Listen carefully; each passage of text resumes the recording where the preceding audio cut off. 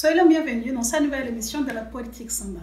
Nous sommes déjà passés au fleuve Carioca au Brésil, à côté de l'ancien Pacifique au Chili, par les pays des anciennes civilisations africaines, les Bénin, par les pays d'Eur, les Mali, et aujourd'hui nous allons revenir sur les pays châteaux d'eau de l'Afrique de l'Ouest, la Guinée-Conakry. Notre invité va nous amener dans les différentes sphères de pouvoir. Il était ambassadeur de la Guinée-Conakry en Égypte, en Jordanie, en Turquie, au Soudan, au Liban et en Syrie. Après ces années passées au Moyen-Orient et en Afrique, en 1992, notre invité devient ambassadeur, représentant permanent de la Guinée-Conakry aux Nations Unies. Dans cette organisation, il était également président du Conseil économique et social de l'ONU. Notre invité était également sous-secrétaire général des Nations Unies. Ensuite, entre 1997 et 2002, il arrive à la CDAE, autant qu'est secrétaire exécutif. Dans les années 2000, il devient représentant spécial pour la Côte d'Ivoire à la demande du secrétaire général de la francophonie de l'époque. Il participe activement dans la résolution des conflits en Afrique et c'est pour amener la paix dans son propre pays en février 2007 qu'il fut nommé Premier ministre. Diplômé de l'École nationale d'administration de Conakry, il est spécialisé en économie générale et en gestion financière d'entreprise. Et c'est avec plaisir que je reçois dans notre émission Monsieur Lassana Kouyeté, l'ancien Premier ministre de la Guinée-Conakry. Je vous remercie de votre participation dans cette émission, Monsieur Kouyeté. C'est moi qui vous remercie, Madame. Monsieur Kouyeté, autant qu'ancien ambassadeur de la Guinée-Conakry, comment voyez-vous les relations des pays africains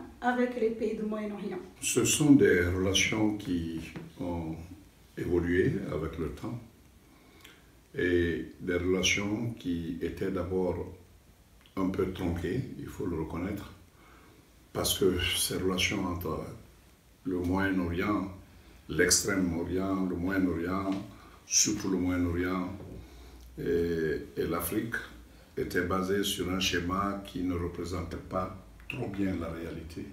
On pensait que les pays africains devaient soutenir simplement le monde arabe dans sa lutte contre Israël et que l'Afrique devait apporter sa voix dans les instances internationales aux pays arabes et qu'en contrepartie, les Arabes allaient financer.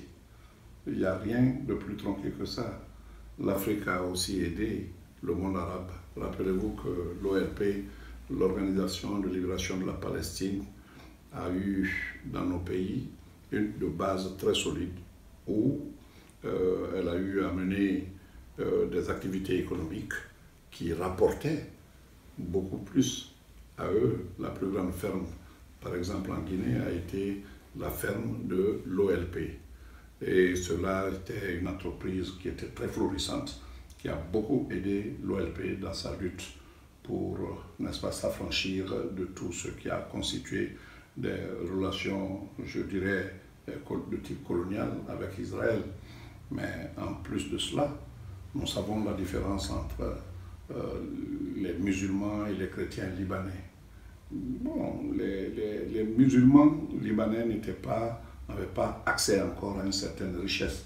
C'est grâce à leur déploiement en Afrique, surtout en Afrique de l'Ouest et aussi en Amérique latine, qu'ils sont devenus des entrepreneurs, ils ont bâti des entreprises dans nos pays et ce qui leur a rapporté beaucoup de ressources grâce auxquelles ils ont pu assurer une certaine euh, autonomie financière à ceux qui sont restés au Liban.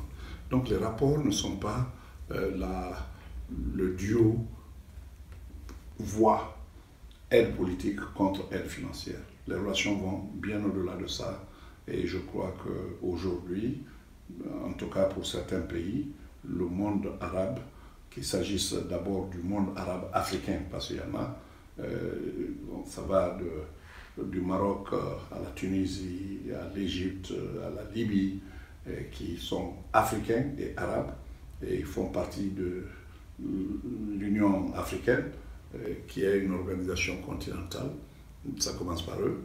Mais en plus de cela, que ce soit les Émirats arabes unis, que ce soit Abu Dhabi, que ce soit même Qatar, tous ces pays ont eu aujourd'hui un accueil particulier en Afrique grâce aux investissements euh, qu'ils opèrent euh, sur place. Selon un rapport d'investissement dans le monde de 2016 des Nations Unies, il dit que les investissements étrangers en Afrique devraient augmenter modestement sous l'effet des mesures de libéralisation adoptées et des privatisations prévues d'entreprises publiques. Autant qu'ancien Premier ministre, croyez-vous qu'il faut réellement libéraliser pour attirer ces investissements étrangers Oui, je crois qu'il y a plusieurs types d'investissements. D'abord, il y a l'investissement public, l'investissement direct qui concerne l'investissement d'un pays à un autre, mais il y a l'investissement privé aussi direct qui concerne l'investissement du secteur privé étranger dans les différents pays.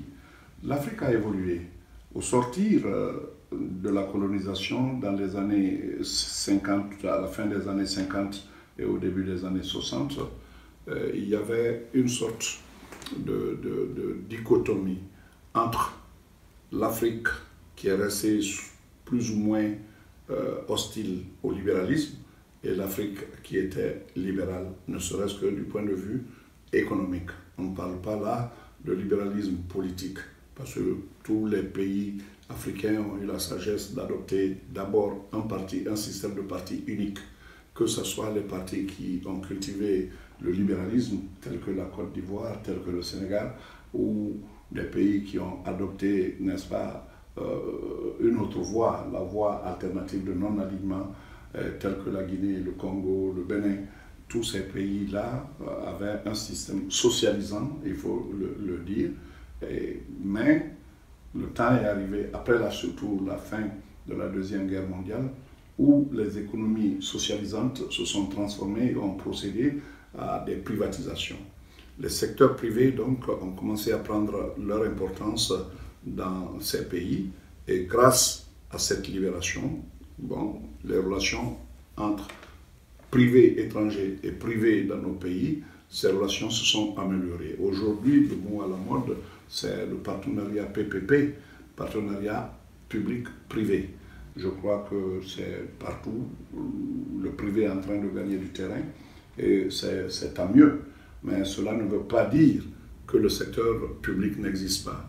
Dans les grands domaines stratégiques, vous le verrez en France et vous le verrez même aux États-Unis. Qui pouvait imaginer il y a des années que l'Amérique, les États-Unis allaient un jour euh, pomper de l'argent vers des entreprises telles que les Chrysler, telles que les Ford, euh, pendant la crise des subprimes, ce qui a créé un tohu financier. C'était une véritable crise qui a commencé déjà en 2005, 2006, 2007 et qui a atteint son pic en 2008. Et c'était des millions de foyers qui ont été pratiquement euh, mis, de, mis dehors de leur maison. Cette crise-là a montré la faiblesse du système du tout privé, parce que c'est un système qui finalement n'avait pas de contrôle, et vous savez que l'économie virtuelle a pris un pas sur l'économie réelle. Et c'est ce qui s'est passé aux États-Unis où le gouvernement Obama a été obligé de pomper de l'argent pour sauver les entreprises privées, ce qui était un tabou. Ce qui était un tabou avant, c'était considéré même comme un crime de la part de l'État. Mais l'État été obligé de le faire. C'est une forme de euh, nationalisation pratiquement, avec Goldman Sachs, avec d'autres banques qui étaient en état de cessation de paiement. L'État a dû renflouer. Partout, on l'a vu. En Europe, l'Angleterre l'a fait. La France, les Pays-Bas, la Belgique. Tous ces pays étaient obligés de renflouer, n'est-ce pas, les entreprises euh, privées. Donc faire intervenir l'État pour sauver les entreprises privées.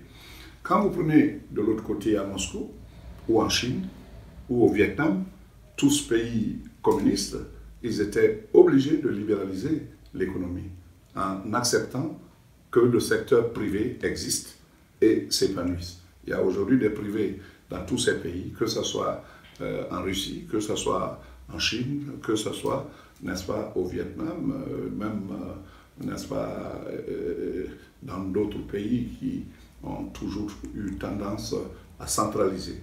L'État ne peut plus être totalement centralisateur et jacobin. Il faut bien qu'il y ait un partage entre le privé et l'État. C'est ce qu'on appelle partenariat privé-public. Vous avez reçu euh, plusieurs décorations nationales étrangères. au Togo, en France, au Mali, au Maroc, de l'UNESCO, de l'Association des soldats de la paix, l'Association des casques bleus de l'ONU, parmi d'autres.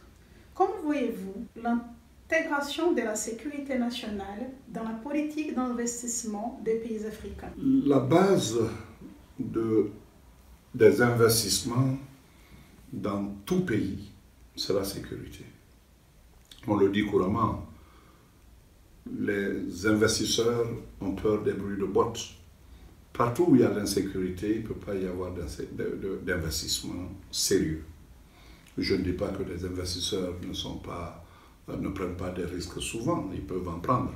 Mais tout ce qu'on reçoit comme investissement étranger pendant des périodes, n'est-ce pas, de crise et d'insécurité, c'est peut-être la portion congrue de ce qu'on aurait dû recevoir. C'est ça la vérité. Il y a, à mon avis, trois fondamentaux à l'investissement. Pour qu'il y ait investissement, pour que ça vienne, parce qu'un pays ne se construit pas exclusivement de l'intérieur du pays. Le pays crée les conditions et les investisseurs étrangers viennent. Les États-Unis sont le produit du know-how européen et de la main-d'œuvre africaine, on le sait. Le Japon, c'est le résultat des États-Unis. L'Europe a été brisée, cassée pendant la Deuxième Guerre mondiale. Il a fallu le plan Marshall, venu d'Amérique, pour venir relever, n'est-ce pas, toutes ces industries qui ont, été détruites par le système euh, naziste et par le système, n'est-ce pas, que euh, Hitler a mis en place, qui a détruit les économies de ces pays. Donc, l'effort d'investissement est venu d'ailleurs. De même, pour l'Afrique, les conditions préalables que nous devons fixer à nous-mêmes, sans même l'avis de quelqu'un d'autre. Premièrement, la stabilité. La stabilité, ce n'est pas seulement manque, n'est-ce pas, de guerre ou de crise, c'est aussi la stabilité des institutions, que les institutions soient respectées, que en plus de cela maintenant, il n'y ait pas de guerre, qu'il n'y ait pas, n'est-ce pas, des tumultes ou des tourments qui font que l'investisseur se sentira en danger lorsqu'il viendra investir. Un. Deux, il faut un système juridique et judiciaire capable de défendre euh, les investisseurs. Dieu merci, au sein de l'Afrique en Afrique de l'Ouest, il y a l'OHADA, qui est une organisation juridique des affaires qui protège plus ou moins, les investisseurs qui viennent. Quand ils savent que une fois euh, dans le pays, ils ne seront pas victimes, n'est-ce pas, d'injustices flagrantes et qui leur fera perdre de l'argent, alors ils viendront. Troisième chose qui est importante, c'est l'éducation. L'éducation, et surtout dans cette éducation, la formation de la main-d'œuvre qualifiée. Aujourd'hui, dans certains pays tels que le Vietnam, le taux de croissance est à deux chiffres parce que simplement, ils ont formé secteur par secteur une main-d'œuvre qualifiée. Et les investisseurs américains qui viennent, par exemple, dans le mobilier au Vietnam, ils ont toute raison de croire qu'ils auront les meilleures qualités de produits grâce à la formation, n'est-ce pas, de ces, de ces travailleurs et à un prix qui est imbattable. Parce que c'est peut-être le dixième du prix qu'ils auraient payé à un travailleur américain. Et pour vous, est-ce que la politique s'en bat Oui, enfin, de, ce point de vue, tout est s'en bat. Euh, ce n'est pas seulement que la politique, parce qu'il y a une cadence à tout. Cadence économique, cadence politique, cadence sociale, cadence culturelle surtout, qui est directement liée à ça. Dans, dans la politique, il faut une cadence. La cadence étant le rythme auquel on mène la politique. Quand il n'y a pas cette cadence-là, la visibilité n'est pas assurée. Et chez nous, il y a, et dans nos villages jusqu'à présent, il y a un proverbe qui dit eh, à tous les villageois, allons à la même cadence. Ainsi, quand il y a quelqu'un d'autre qui n'est pas des nôtres, on le saura parce qu'il ne sera pas à la même cadence. Ça veut dire que le bruit des pas allant ensemble, levant les pieds ensemble, se posant ensemble, est une sorte d'harmonie que toute société, dont toute société a besoin, y compris le, politique. La politique n'est pas faite comme une crispation. Elle doit être gaie. Mais elle ne peut être gaie que quand elle s'occupe des relations sociales. Et pour s'occuper de ces relations sociales, il faut aller au-delà de, la simple comptabilité. Et le regard que beaucoup donnent, surtout ceux qui sont dans les institutions de Bretton Woods, que ce soit le Fonds monétaire ou la Banque mondiale et les banques de façon générale, ils ont trop l'œil comptable sur les affaires. Il faut qu'il y ait de la gaieté. En fait, qu'est-ce qu'on cherche véritablement? Est-ce plus d'argent pour ne pas être euh, pauvre ou ce qu'on recherche globalement, c'est d'abord le bonheur? Ce bonheur peut-il aller sans la joie de vivre? Dans ces conditions Si on prenait les vrais critères de joie de l'homme, euh, dans les pays qui sont dits pauvres, il y a beaucoup plus de joie que dans les pays qui sont riches. Monsieur Koyate va nous montrer pourquoi la politique s'en bat.